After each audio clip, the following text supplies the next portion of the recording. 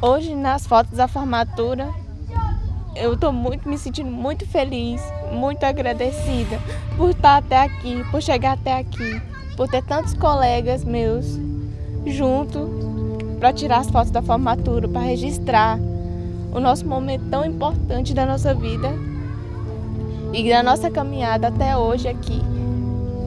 E eu me sinto assim muito feliz, muito honrada, lisonjeada de chegar até aqui, onde muitos não conseguiram chegar.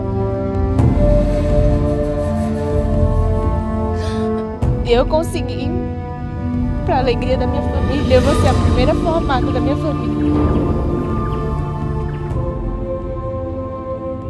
Peguei essa turma desde o início, acompanhei cada um dos alunos, as dificuldades, as conquistas, as derrotas. Uh, muitas coisas aconteceram nesse período e vê-los formando, terminando essa etapa e começar uma outra etapa na vida deles, agora graduados, diferenciados. É, é muito gratificante porque são quatro anos de convivência toda sexta-feira, férias, uh, final de semestre, provas, enfim.